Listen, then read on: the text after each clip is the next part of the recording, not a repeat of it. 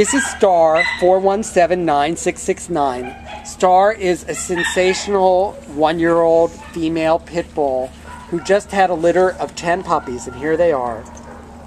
They're less than a week old, five boys, five girls. Super adorable. Do- Danny, do you want to reach down and grab one of these puppies and show us what they look like? Doesn't matter anyway. Doesn't You matter. pick anyone you want.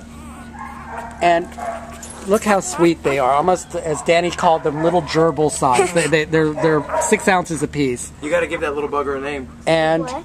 Um, what do you want to call him? anyway, we need to get Star and her puppies out of the shelter by Monday, September 7th. So please, please come to the Baldwin Park shelter and adopt this girl.